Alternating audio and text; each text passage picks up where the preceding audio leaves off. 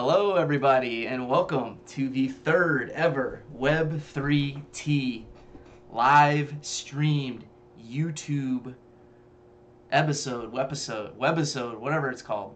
Um, you know, I've got uh, very exciting guests again.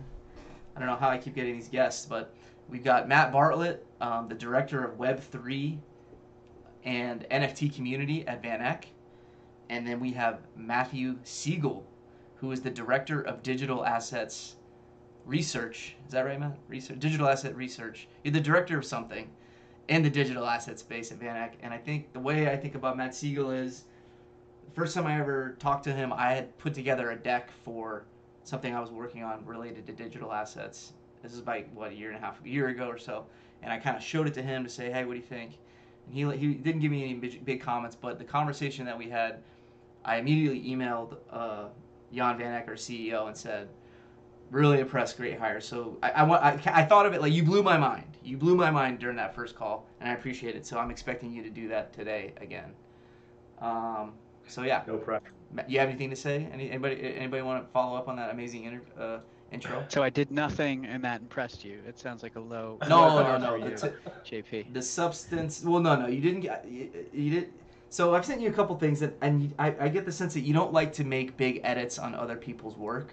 I think that you, you know, there are people when you send them stuff, they want to change everything and change, and you, you're kind of like, if you're on the right track, you're not going to make a lot of edits, right? You're like, you're on the right track. It's your thing. Trend And so following. I, I can appre- I can appreciate that too. So, um, the but what you we talked about Audius, we talked about Audius in that conversation. I had never heard about Audius, and it was really cool. So there you go.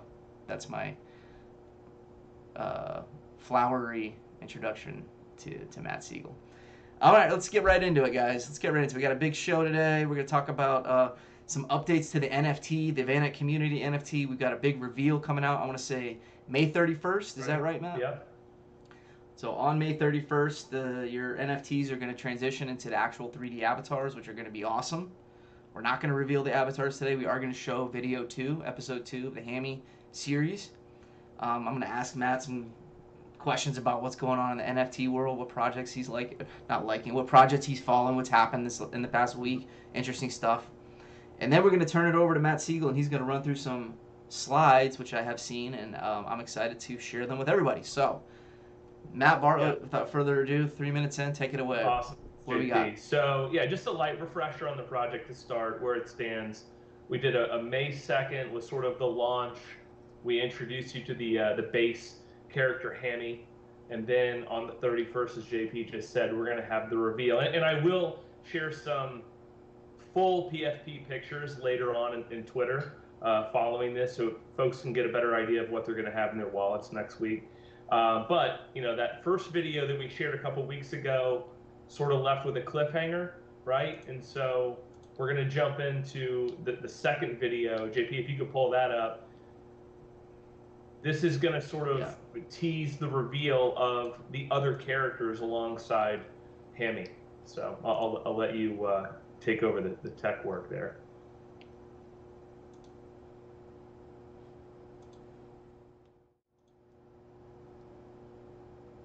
Yeah, Eagle, your face, your face got weird, Eagle, but whatever. All right, we're gonna run it. We're gonna watch this video, and then we're gonna talk about it. Hold on, it's it, it didn't play right off the bat. Hold on, hold on.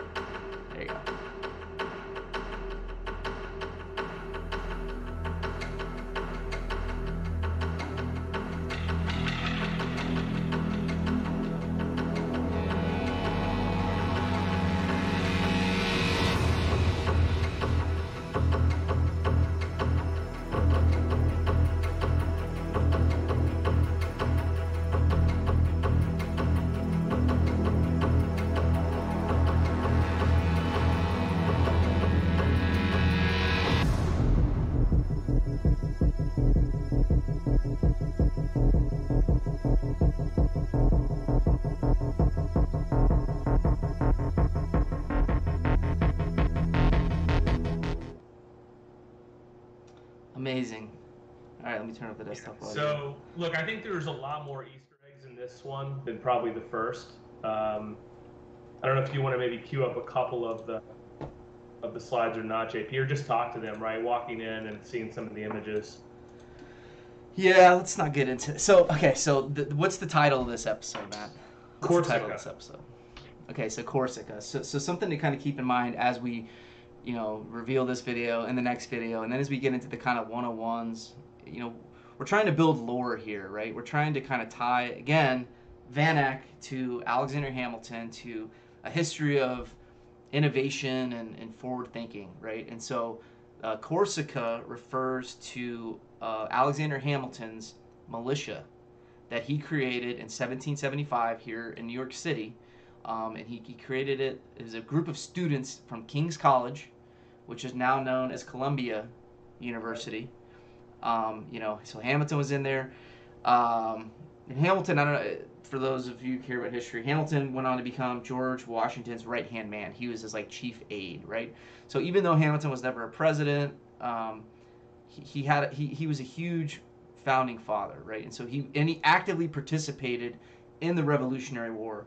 Maybe not in a uh, you know pick up your musket and charge across the field way, but in a strategic, tactical, um, you know George Washington's right hand man. I, I want to say, you know, his the book that came out that the, the play was based, or the musical was based on, really gets into a lot of details on the stuff that he was doing, and really Hamilton had full, uh, he had full authority to write letters in in George Washington's name, and give orders to say, hey guys, send this there. We need to do this. So he was a voice and a right hand man for George Washington in ways that I don't, I don't think people fully understand at this point.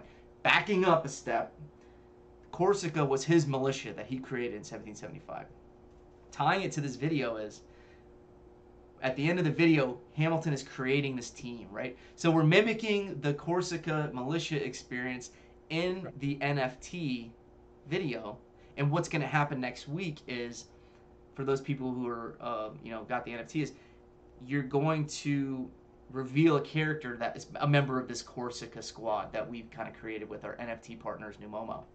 So that that's kind of the backstory. I don't know, Matt. Is there anything you want to add or Yeah, focus on? and that's why we wanted to tie the, the reveal to this video. Um, you know, the, the characters that will that are more of the rare characters are, are sort of you kind of saw their faces briefly in that video. Uh, but then I think it's also worth mentioning too that when it comes to rarity, we we sort of hate this idea of of a common, you know, uh, character class. Uh, there's really nothing common about these characters or what we're doing. So as the avatars reveal, there will be a, a, a class called the Guardians, which will be the ones with no masks. You'll see their faces. And the others with masks will be called Scouts. So um, that's what's going to happen next week. And then the more legendary one of ones that, that we've teased, those will reveal at a later date. So more to come there. Um. Great. Well, I mean, So Hamilton was pro central bank, right? He he was, you know, the founder Yes. of the central bank. So he he would be disappointed at, at what the esteemed institution has turned into today. Is that the is that the narrative here?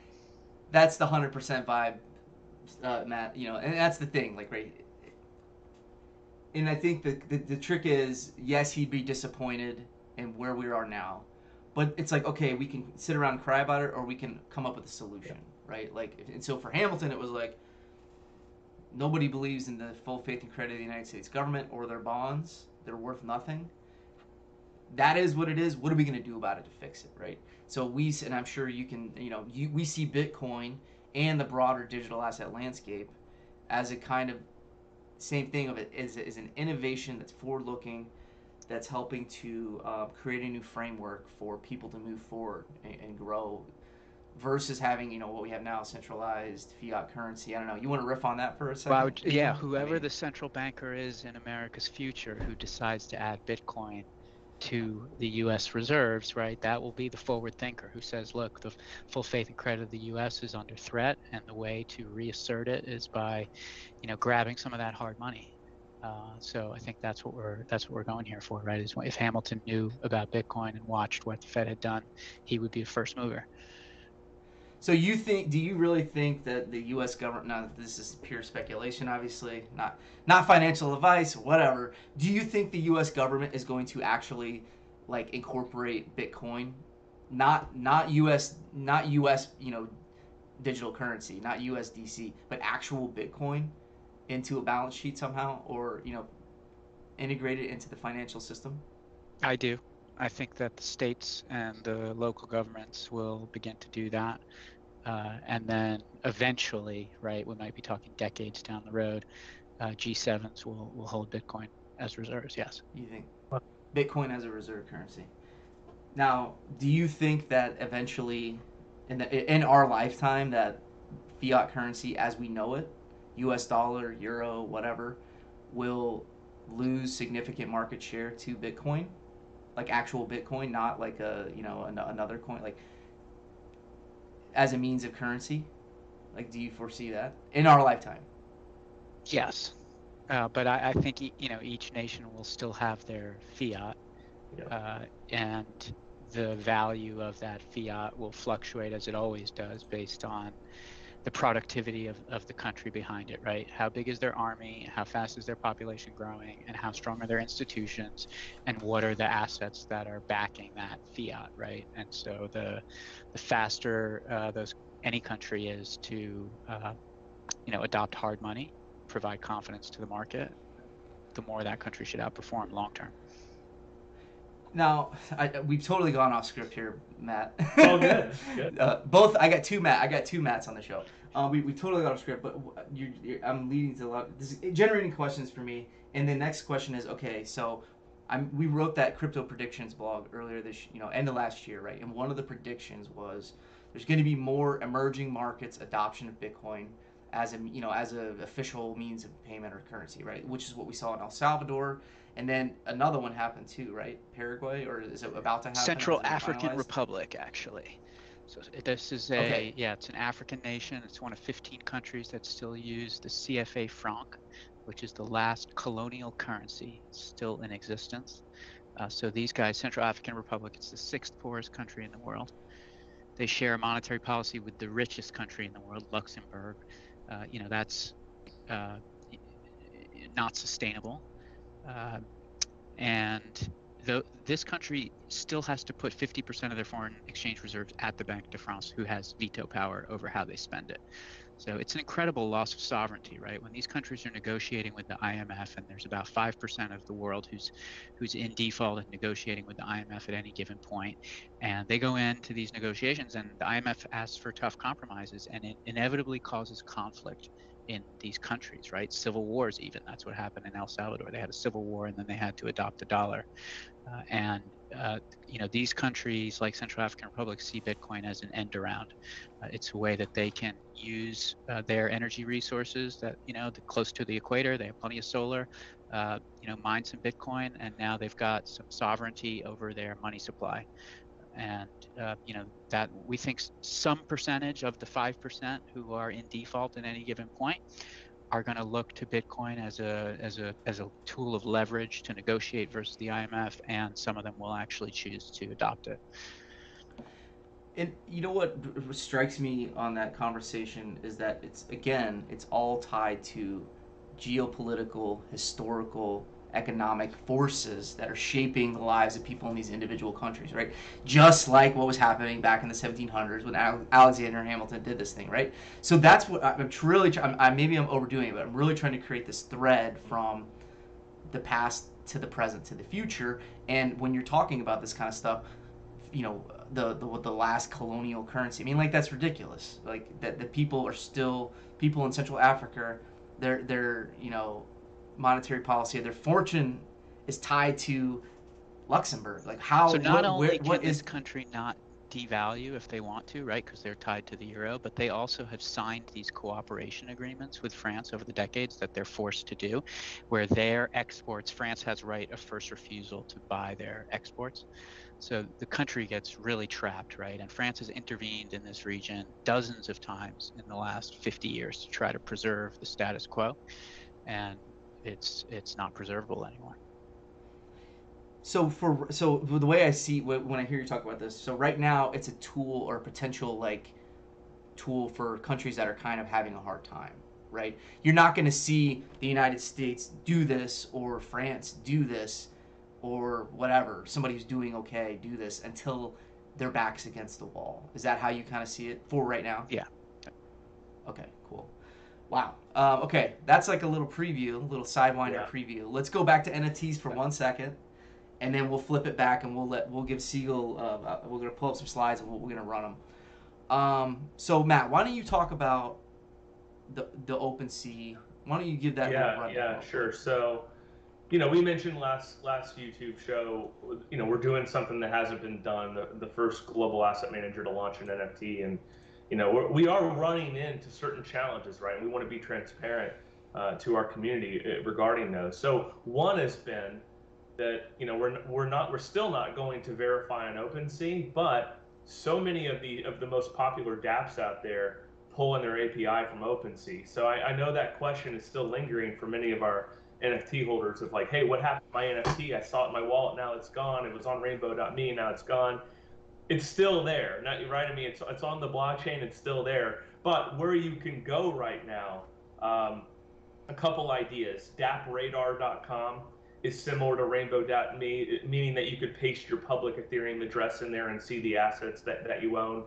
LooksRare, which is another secondary market. So again, don't buy, sell, or list your NFT, but you could see your assets on looksrare.org. Uh, and then one of our community members earlier today on Twitter mentioned they could see it in their coin in their Coinbase wallet. So so that is still there. Um, we're still working through it. I mean, if that's it, that's it. But hopefully we, we could uh, we, we could have it available on more more applications. Yeah, and so I use Coinbase Wallet, and I can see it in my Coinbase Wallet, and I also have OpenSea, and I can't see it in OpenSea. So feel your pain. You know, OpenSea is kind of like the 500 pound gorilla in the room, so they kind of set what they do has downstream effects, right? Just like the Rainbow Meetup example. So, um, but be rest assured, you know, the NFTs do exist on the blockchain, and that's the beauty of it. OpenSea doesn't control what happens Right. on the blockchain, right? There may be a mechanism to get in and view the uh, blockchain, but they don't control it. They can't, they can't take away your NFT if you were given one. It's your wallet, it's your NFT, right? So that's cool. And what we're doing here is illustrating in real life kind of some of the things that are going on there through real world examples and use cases, which was the point the whole Yeah. time. So if you're watching this, I, I, I have a feeling that most people watching this ha- already have a wallet. But if you're watching this and you're like, "How- I don't know what you guys are talking about, download download Coinbase Wallet, download Trust Wallet. Matt wrote a great how-to. Do, just do something to get your feet in the water because the crypto market's, uh, I would say, is in a bear market right now. And do you want to be getting involved during? Uh, What makes you know, say that, uh, JP? yeah, well, there's some of your because I've seen your I, I've seen your slides. What you know? Do you want to be getting involved when everybody's talking about it in McDonald's? You know, and the whole line is talking about NFTs, or do you want to get involved uh, potentially early at um, I would say more compelling valuation levels for some of this stuff? Yeah.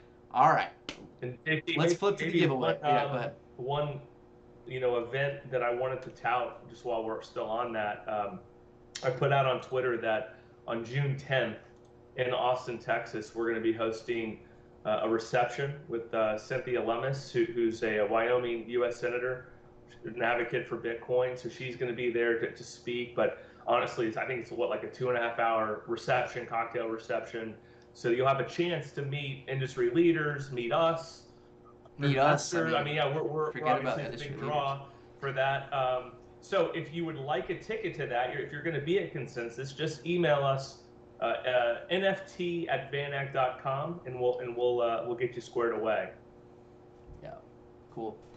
All right, let's flip it. Let's let's give away an NFT. What do you think, Matt? Uh, and, and what we did what we did last time was we asked a question, historically based.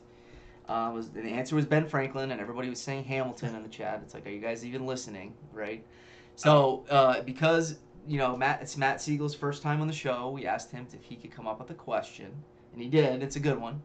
So the first person who answers this question correctly in the chat, you can email the NFT at vaneck.com that you know I'm the right person, and if you know verify, you know screen screenshot your username or something like that, so we know it was actually you, and then away we go. So I'm, I'll be watching the chat. Hold on, let me pull up my chat. Austin, why not Houston? Because that's where the that's where the that's where consensus is. Um, so for all the people asking how to get an NFT, the answer is to answer this correct correct answer this question correctly first. Go. Is that for me? Yeah. Okay, folks, here's the trivia question. Uh, who is the first musical artist to ever accept Bitcoin for his work or her work? First musical artist to accept Bitcoin for their work. Any guesses? I don't see any guesses. If someone gets this quickly. So, well, there's a bunch of people googling right now. The chat's just talking to themselves. Somebody just said. Somebody just said, please. Alright, I mean, you could be. I need to win. Ax- Aximus, if you need to win, I mean, Do you some could work. Google. We'll give a hint Yeah, here. this this is- musical artist uh, has. Uh, Oh, we got one. okay. We got one. Mr. Q said 50 Cent. But We'll yes, Mr. Q, We I know. We got you.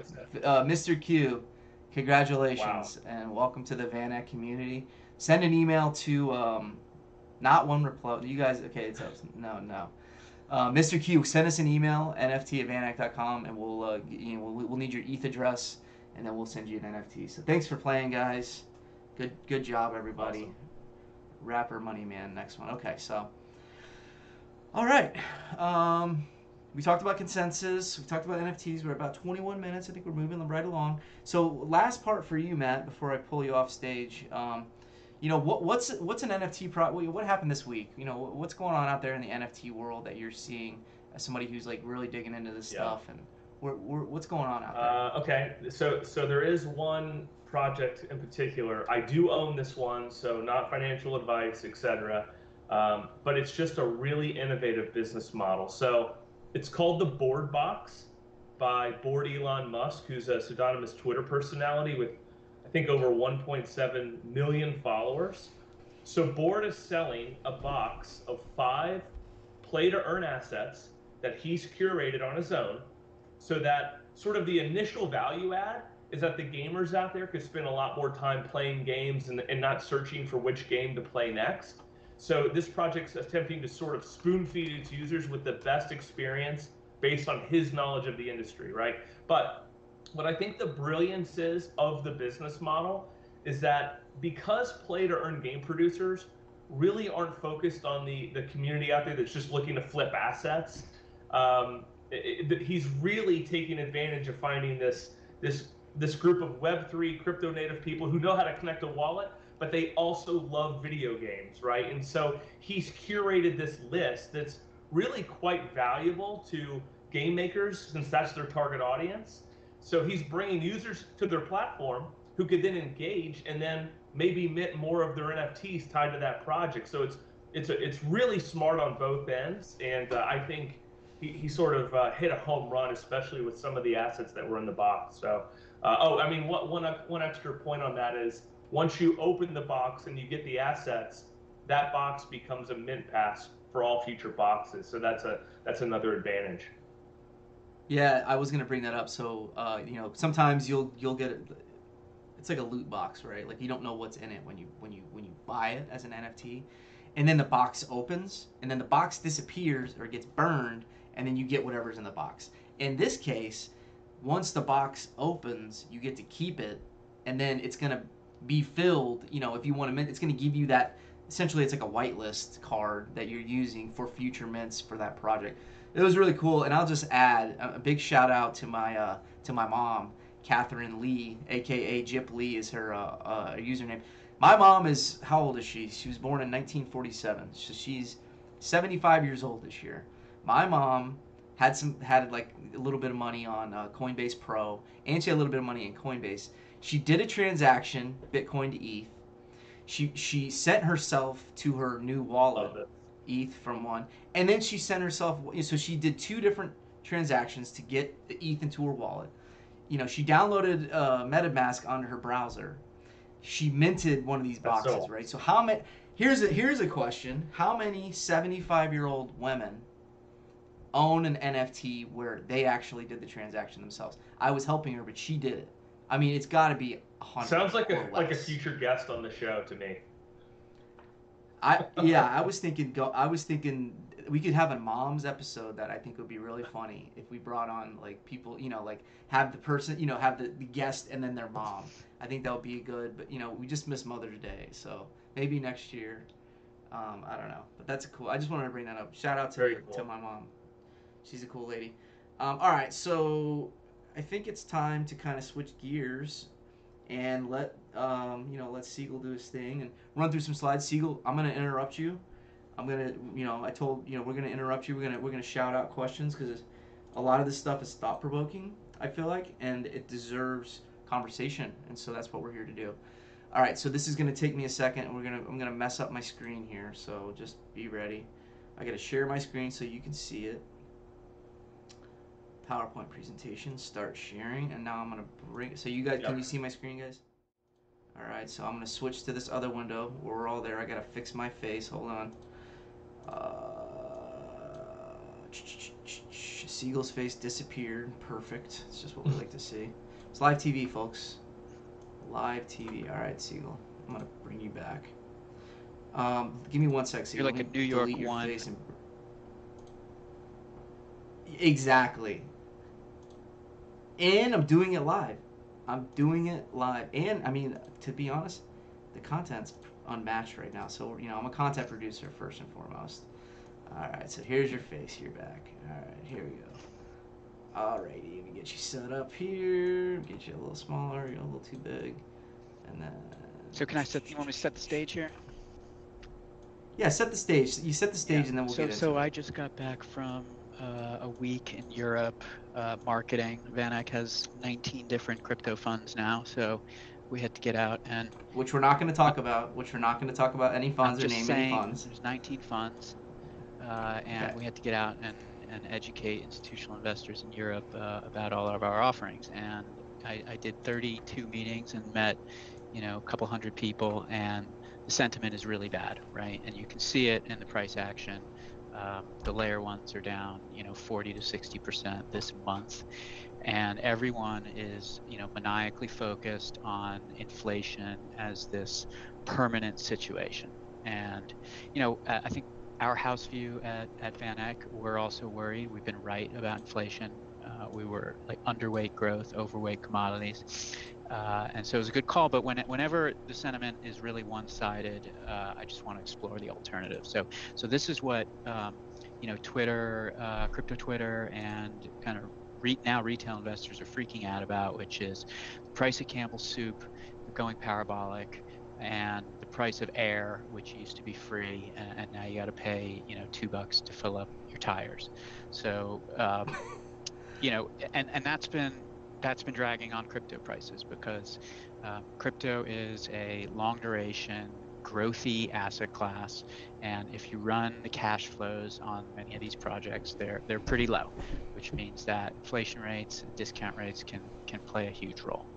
Um, next slide. How, how did we miss the opportunity to sell air for a living? That, that seems like a Yeah, miss. seriously. Well, those machines cost Yeah. money. First of all, those machines. It's not like it's not like that's a machine. But you, we were talking about before the show, real quick. So there's a meme out there in the internet, and if you look at a lot of different charts, this is a chart of Campbell's soup. There are other charts. Uh, I don't have any off the top. Probably college tuition. Something happened in 1971, and, and and there's all this debate about what happened, but something changed. I don't know what it is. What what changed in 1971? Do you know? Sigel? I mean, like, do you have an answer to that? Uh, does it have something to do with the gold standard, maybe? That's that's kind of like, is that the year that it flipped? Yeah, August 15th, Yes, so that- 1971, when President Nixon announced that the U.S. would no longer convert convert dollars to gold at the fixed value of $35 per ounce.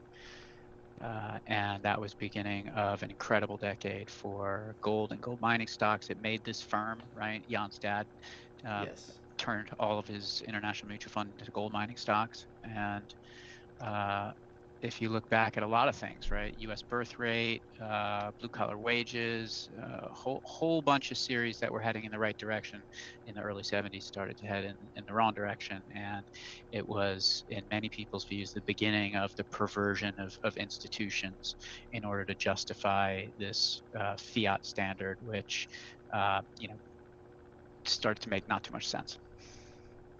Right. All right. Let's do All it. right, so so here, um, you know, just to hammer home the point of how negative everyone is, and, and maybe they should be negative, right? So this is a measure of real liquidity. Uh, it's M2 plus equity, bond, ETFs, and mutual funds, uh, and then you subtract industrial production. So this will capture times when the real economy uh, is doing okay, as it is now, right? We're reopening from COVID. Everyone who is flying around the world on, on airplanes, of course, for leisure, not for work, because people don't want to work. Uh, but we're, we're at the point here um, where real liquidity is quite contractionary. Uh, and we're getting close to kind of 2009, 1994, 1974 levels, and and these are periods that are associated with pretty bad bear markets. Uh, but then you can see from this series that uh, th- there's always a new narrative around the corner. We're never quite sure how it's going to happen, but things don't tend to linger in uh, this kind of extreme negativity for for very long. Next slide.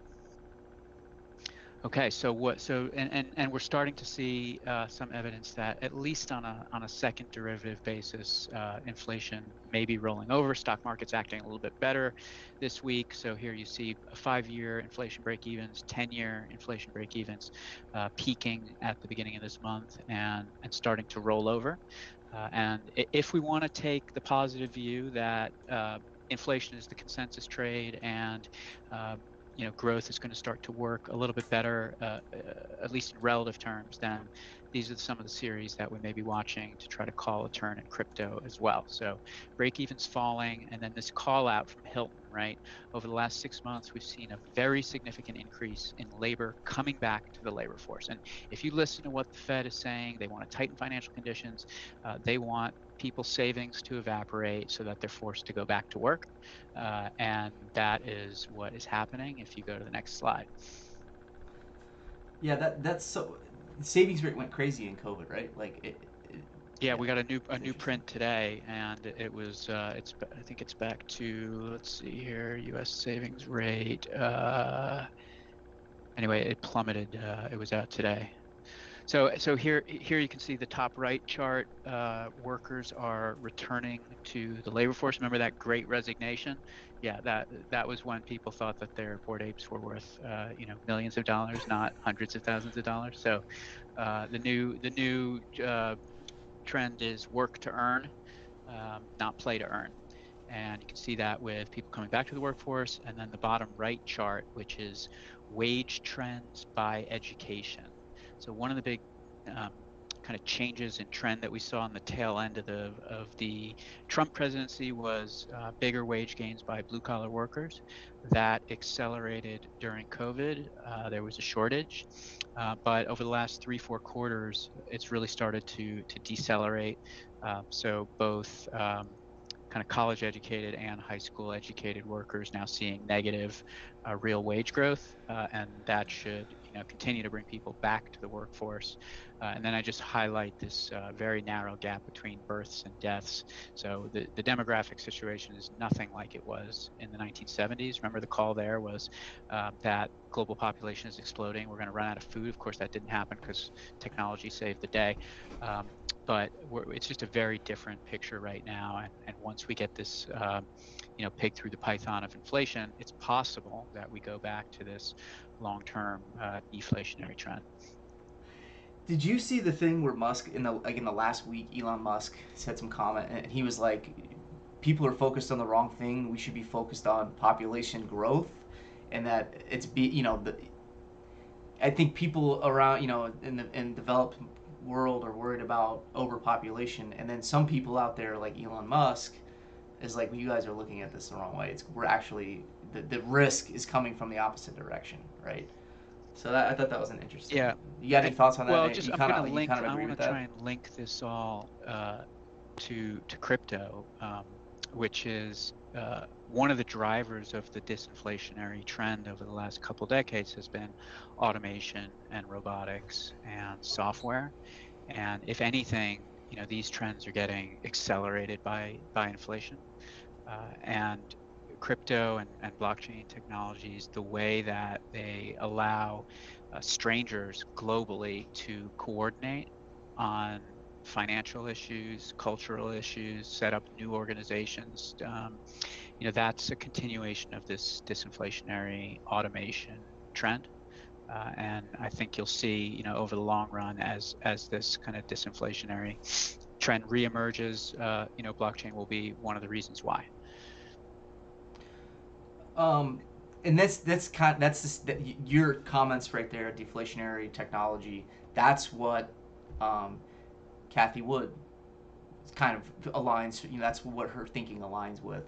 And I see, I, I saw an article today, Forbes or New York Mag, New York Mag had some, you know, article bashing Cathie Wood, and it's just like I just don't get it. Like, um, the trend, the trend for deflation related techno- technology and AI and stuff like that is pretty apparent to people who like dig into it.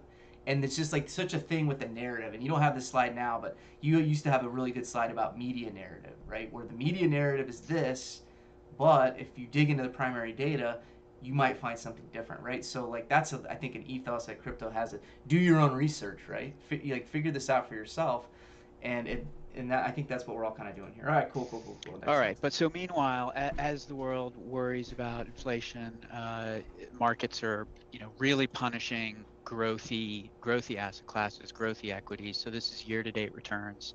Uh, S&P down 17, China's down 19. It's pretty amazing that the long bond ETF, TLT, which everyone was, you know, that's supposed to be the safety asset, that's down 21%. So incredible just capital destruction going on. You know, equities, fixed income, and yes, crypto. Uh, Bitcoin down 38, Ethereum down 48, uh, and then I, I just use Shopify as an example of kind of a uh, you know very growthy, uh, theoretically high margin, but actually low profit software platform company. So you know quite similar to Ethereum in that regard, uh, and down 75%.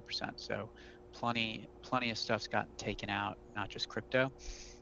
Uh, if you go to the next chart, it's really an eye chart, uh, and I'll just kind of explain what's what's going on here with, with volatility, where basically um, Ethereum and, and Bitcoin volatility are at like two-year lows, and Nasdaq uh, volatility and S&P is at two-year highs and like Shopify on this. We could have used a particular ETF company that you mentioned as a proxy for this, but I'm using Shopify instead. But um, these like really innovation focused, uh, growthy companies, um, if they can make it through the other side of this growth slowdown, you know, without needing financing and going bankrupt, uh, uh, th- those types of assets are, are printing vol above 100%, right? So it's uh, crypto is not unique in this environment, and I just wanted to throw this really complicated eye chart out there to give you conviction in that point.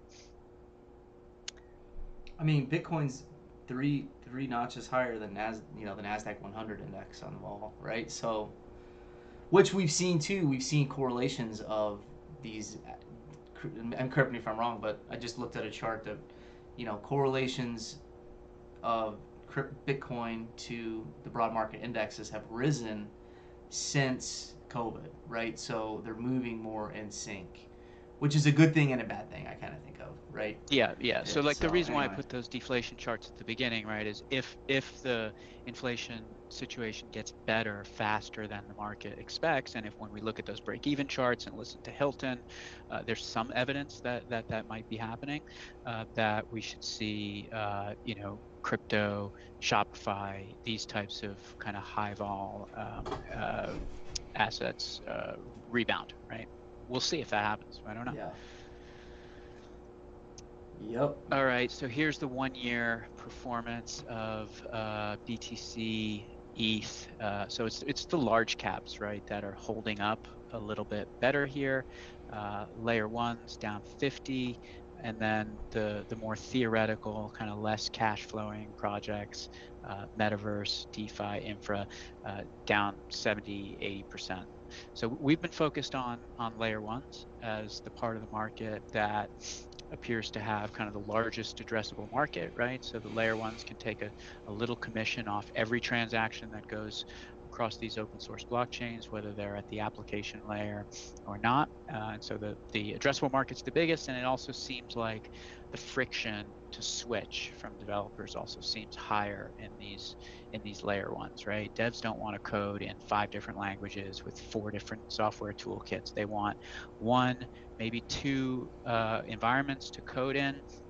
Want to build their apps on that. ETH is the kind of first port of call, uh, and then you know there's we think maybe five to seven uh, chains that will that will emerge um, to to rival them, right? And so uh, right now in, in a in a bear market, ETH is outperforming the its competitors in layer ones, but then layer ones are you know pretty significantly outperforming the more uh, longer tail metaverse and, and infra apps.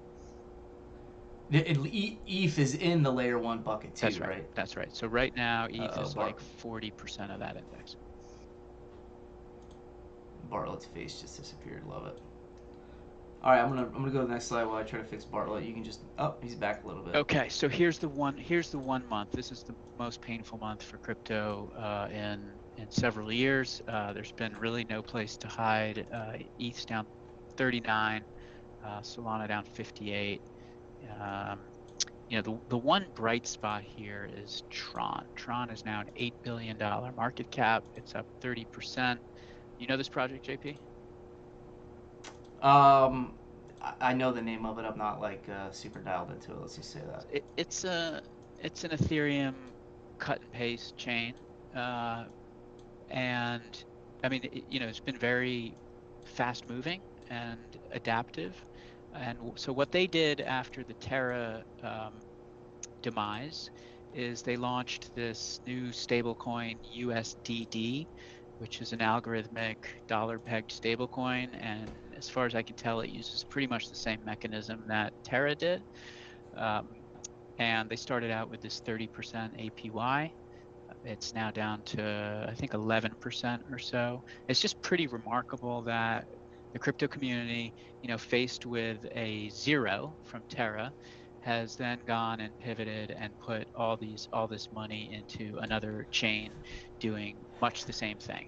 And if you look at who the backers are, like Alameda is a backer of this USDD. So the institutional players are like, hey, let's do this again, right? And I'm like, oh, I don't really want much part of this, but um, it just highlights for me that there's enormous demand in crypto for a decentralized stablecoin that can be used in DeFi and cannot be censored. And UST was magnetic for that reason. And they started out with, you know, too aggressive a model, the 20% not sustainable.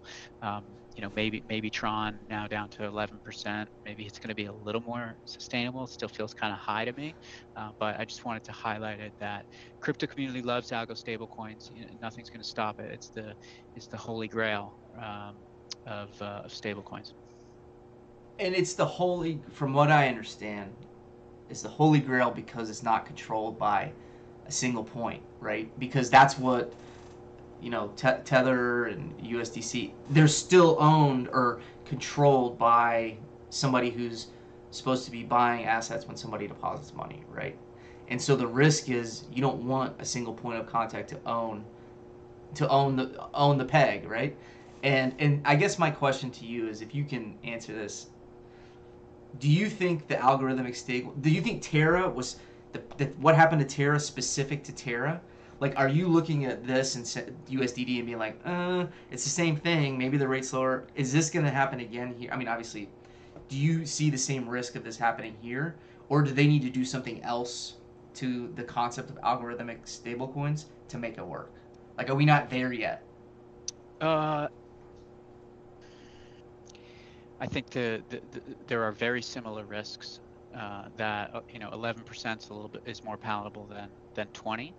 But if you really wanted to start an algorithmic stablecoin, you should start with 2% and over collateralize it, you know, by 2x with with Bitcoin or with dollars. Uh, and you know, there's some there are some algo stablecoins that are kind of doing that under the radar, right? Um, I mean, DAI's not under the radar, but th- that peg has has held pretty well. That's that's a decentralized stablecoin, uh, which is over collateralized, so just a uh, a safer version. Um, so we're going to see, yeah, here here you can see um, the top 10 stablecoins and, and kind of what's happened to their market cap over the last week. Uh, so and so, like you said, like Tether is a centralized kind of whitelisted stablecoin. They're like an ETF sponsor. They have authorized participants who can create and redeem at par, and then uh, the asset Tether also trades on the secondary market. Uh, but be- because of that uh, kind of authorized participant model, they can blacklist certain entities. Uh, they can censor, you know, Russian citizens or, or whoever else. And however, you know, well-meaning and appropriate that may be in certain circumstances, crypto communities dying for a for a for a stablecoin that that cannot Truly be censored, right? Um, so here, there you see USDD uh, cracking the top 10 on that list. It's now about a 600 million dollar market cap. Tron market cap is 8 billion. So maybe maybe there's a few more months uh, months here to go. Will Tether break the buck? Yeah, so uh, I guess last week, um, th- this is a daily candle of Tether. Um, so you can see that there's been plenty of times over the last five years when uh, Tether's traded down to kind of 94, 95 cents. Um, if it happens once, it tends to happen again. The market tends to kind of test it uh, over the subsequent weeks. Uh, so, um, but I think there's a lot that's out of their control, right? Like Tether can't control the value of the commercial paper that they own. That's a function of, of market conditions. Um, and if the if the stock market and risk assets rally, then the pressure will come off will come off Tether. I think the the other thing that's happening is even as uh, everyone is taking aim uh, at Tether and trying to trying to, to break the buck, they, they continue to innovate. They just launched a Mexican peso denominated stablecoin. Um, uh, Tether's now on the Polygon network. Uh, so you have to admire the execution uh, with everyone kind of training their attention on uh, possibly breaking the buck here. The, uh, yeah, I saw. This. Yeah, so I so saw this, is like I said, the crypto community is desperate for for Algo stablecoin, and here's a poll that uh, that Gojo Crypto he does he or she does good job on uh, on data, and so there's this was a poll on May 10th. Do you think a highly adopted decentralized stablecoin is important? 81% yes. What was the price of uh, UST when this poll was done? Like when did when did UST crater? Was it after this or It, before? uh, this? This UST May cratered 10th? before this, so this was uh, Okay, yeah, this, so this was after it happened. Yeah, so this is May 10th. Uh, UST cratered like Sunday the 8th into the Monday the 9th. By the morning of the 10th, it was worthless. Um, yeah, so here you, the left-hand side is is price volatility for U.S. dollar stablecoins. Uh, so big increase in the beginning part of this month as everyone tried to figure out who's next, uh, and now you know things seem things appear to have stabilized. So uh, there's mar- there's a lot of market share to pick up from other stablecoins of all that Yeah. like uh, activity that, that UST used to had. And it's pretty interesting that uh, on the right hand chart there, the on chain volume of stablecoins, it's going to make an all time high in May again. Uh, so uh, it's not like people That's are as of May fleeing these things, uh, right? They're using them more than ever. Uh, now you made a comment, JP. You, we should get your mom on here uh, because she. You said she made a like a multi transfers, right? She bought money in Coinbase, then she sent it to uh, Coinbase wallet, sent from there to MetaMask, right? Well, Coinbase just announced that, that they're integrating into MetaMask. So this is the Coinbase Pay, uh, which is essentially a, a bank. I think it's powered on the back end by Cross River, which is Fort Lee, New Jersey based bank. And you will now be able to, your, your mom, JP, will now be able to buy ETH directly from MetaMask uh, by going through Base Pay. And if you look at the number of kind of crypto to fiat on ramps that are uh, being introduced, they're just it just keeps growing. Uh, so when the next bull market comes, uh, everyone's going to find it a whole lot easier to move their their money back and forth. So is, So is there's- Meta, yeah. is MetaMask uh, conducting the KYC when, when, when, when, when bringing folks on, or not, or who is? I don't know the answer to that. I think it's Coinbase Pay because Okay. they're the ones with the banking money transfer licenses. Um, That was another step my mom had to do. She she ha- she hadn't full, fully uh, verified her identity, so she had to like you know upload her ID and stuff like that. But so there was like an ETH transfer that was like hanging out, you know, and, and then she uploaded her ID and it just went through immediately. Oh, the joys of crypto. I think you know, just stepping. Like I think that once it's easy for people like my mom and maybe people who aren't, you know, you know, your typical forty-year-old person that isn't a computer geek like me, and I would say everybody on this call is a computer geek, right? Like once it's easy for those people to do it, then it's going to be even bigger, right? And and, and the thing is, it's going to be underneath, right? It's going to be underneath. It's not going to be like, oh, I'm doing crypto. It's just going to be like, no, I'm just doing the same thing that I'm doing now, built on top Yep. of crypto. So anyway. All right. Yeah, this one we kind of alluded to, right? So just continued momentum in El Salvador, Central African Republic, and um, these, uh, you know, president of both countries pr- pretty active uh, in the evangelist um, uh, function, right? Which is getting other nations, which may be in similar dire straits, to to get on board with this. Uh, so both the Fed and the ECB both put out surveys this week that uh, give a, a hint of how early it is for crypto. So the Fed says uh, 12% of surveyed adults have used crypto, only 2% uh, uh, have used it for, for payments. Um, so that's what we're talking about is that 2% is going to grow really fast uh, as these uh, fiat on-ramp integrations occur.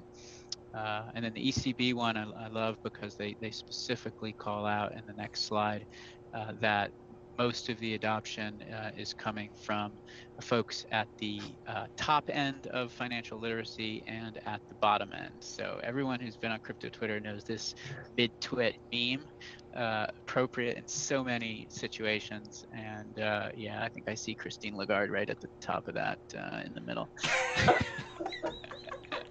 spell it out. I mean, so let's. I mean, I know it might be like spell it out for. My mom's gonna spell it out for my mom. What does this meme mean? What does this mean? What does this picture mean? Uh, this picture means that uh, you know sometimes the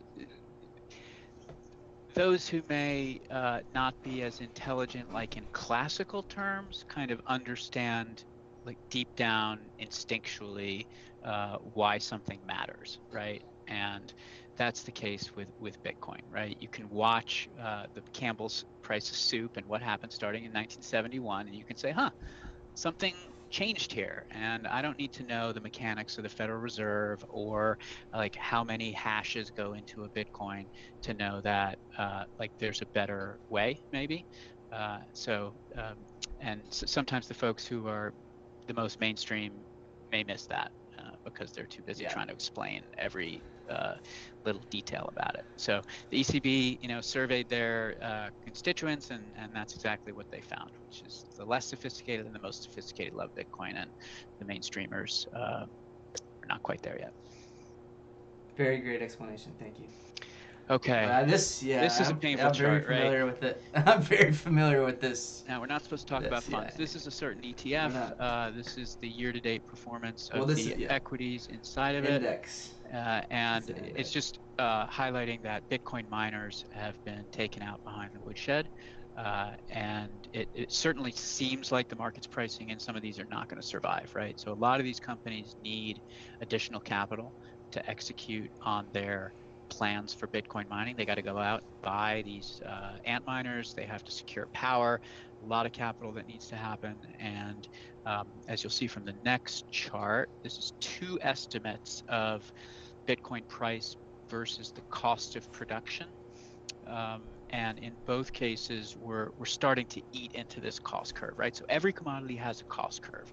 And uh, the big guys who can produce at scale will be on the low end of the cost curve, making money at 3,000 per coin, 5,000 per coin. And then you're going to have some idiot hobbyists who mine in their uh, basement with like overpriced electricity and they'll start to realize that like they're not making money and they're going to start to shut off those bitcoin machines. And then we'll learn like how steep is this curve? How many of those people are there who are uh, mining bitcoin that's not economically rational because they see it as a religion or something? Uh, and those folks you know there's an argument that those folks need to get shaken out. They need to sell those Antminers like to buy campbell's soup cans uh, before before we bought them and we're, we're starting to get there. Uh, next chart. Uh, this on the left-hand side is shows the price of uh, an Antminer S19. So it's down from 19,000 bucks to 8,000 bucks in the last six months or so. Uh, the right-hand Hmm. chart is a is kind of a, a, a little profitability matrix from from BTIG. If you if you put in the eight thousand dollars cost per rig, and you map it against the thirty thousand dollar Bitcoin, it's a 766 day payback. Okay, so that means that in, in about two years, you've earned your money back on these machines, assuming um, uh, the appropriate cost of power. Um, but you know, two years is not as good as it sounds, right? Because a lot of these ASICs depreciate. They're they might not work after three years or, or four years or five years. Um, so uh, you know, especially if we get down into that twenty thousand level, you see how many days there? Thirteen hundred fifty-one. Yeah, so that's like four years, Yeah. four years of payback. The ASICs themselves To don't break last- even. Yeah, it's kind of break even, not that interesting, right? So I, I mean, I would Yeah. flip it around and say that's where we can start to look at at a bottom. Uh, you know, in Yeah. a in a worst case, you don't always reach it, but uh, you know that that- just some some more evidence that we're starting to kind of eat into this cost curve, and I would expect supply to, to come offline here if prices don't recover. Now, prices could always recover. There's a demand side, right? If another country comes in and says we're adopting Bitcoin legal tender, price is going to moon. Uh, but I just want to set it from the from the supply side. What are we looking at? here? Uh, this is Coinbase's uh, 10-year uh, bond that uh, has a coupon of 3.6%. Uh, it's yielding 9.3. So, just illustrating that um, debt markets are, are quite pessimistic about uh, about all the companies in in DApp, right, JP? yeah. Yeah, it's, I mean, this is just, yeah. I mean, I find you know, this. I find for- this this level of 9.3% is kind of interesting uh, because one of the funds that we're not going to talk about uh, is a is a you know we we lend dollars to crypto intermediaries and uh, that you know 9.3% is kind of that's an interesting level if you look at what what that fund yields as well and Yeah. we think that fund is much safer than than this where th- this is duration right here you got 10 years at risk Yeah. right? And the fund that we're not talking about, it's it's overnight. Uh, so volatility would be much lower, lower duration, and we're we're kind of achieving almost that yield. Or sorry, yeah. All right, next one. Yeah. Um, last, just final final chart here. Um, if you remember when Stanley Druckenmiller bought Bitcoin, uh, his, what's what struck him was that people who buy Bitcoin don't don't sell, right? 86% of the people Yeah. who bought Bitcoin never so, have never sold, uh, and that's what we see here, which is the percent of supply last active more than a year ago. So Bitcoin untouched for more than a year, making Wow. uh, another all-time high. So This is all time high. Yeah. Wow. That is that you know the is there's another slide that we didn't bring up with the ETH the ETH um, percent locked total value locked. Does that look similar to this, or is there more ETH unlocked right now? Like how what does that chart look like? yeah, compared so? ETH, um, the staking uh, for ETH2 is is not fully functional yet. If you stake on ETH2, the unbonding period will be unknown because until they do the merge, uh, it's possible that you might Yeah. have to be locked in for for six months here. So uh, the percentage of ETH that's staked is is quite low, still only about 10%. Uh, that number should So it's a begin little to rise pretty a quickly different. once the merge clarifies. Yeah, it's a little different. Got it. It's a little different. Got it. Um, awesome. Well, that was a lot, and I think we did a pretty good job of asking you some questions. Um, Matt, you what your your camera disappeared. I don't mean, you Skype it. closes on me at least once a, a YouTube show, so JP, I got to hop. twice this show. Good to see you guys. Hey, Matt Sigel. Final question. Yeah, I gotta ask you one question. Lightning round. How, how, do you personally feel about the your, your the nickname Sigel the Eagle? How you feel about that? No good. Or good? Whatever works, man. If pre- price of Bitcoin's up. right. I'll Well, it. you. Well, we've been in the Eagle's nest. Sigel, Okay, thank you very much, later. Matt. We had a lot of fun again, and uh, we're gonna end it. Thank you guys. Thanks everybody for watching, and the stream is uh, falling apart as people leave.